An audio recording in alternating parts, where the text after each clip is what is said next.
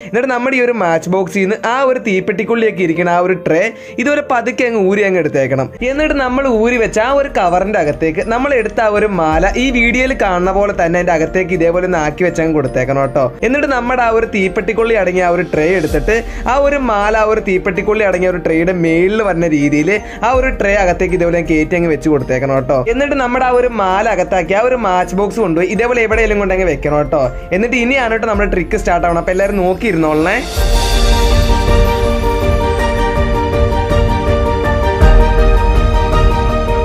നമ്മുടെ ഈ ഒരു ട്രിക്കിന്റെ രഹസ്യം ഭയങ്കര സിമ്പിൾ ആണ് കേട്ടോ ഈ ഒരു ട്രിക്ക് കാണാൻ നേരത്തുള്ള ഒരു ചെറിയ കൗതുകം മാത്രമേ ഉള്ളൂ. ഇനി ട്രിക്ക് അറിയാൻ നേരം നിങ്ങൾക്ക് ശരിക്കും സത്യം പറഞ്ഞാൽ ഭയങ്കര സിമ്പിൾ ആയിട്ട് തോന്നും. ഇപ്പൊ എന്റെ ഉള്ളംകൈയിൽ നിങ്ങൾ കണ്ടില്ല ഞാൻ വേറൊരു മാച്ച് ബോക്സിന്റെ ആ ഒരു മേളുഭാഗം കട്ട് ചെയ്തിട്ട് ഒരു ഡബിൾ സ്റ്റിക്കറിന്റെ സഹായത്തോടുകൂടി അത് നേരെ കയ്യിൽ പറ്റിച്ച് ഒട്ടിച്ചിങ്ങ് എടുത്തതാണ് കേട്ടോ ആ ഒരു ട്രിക്ക്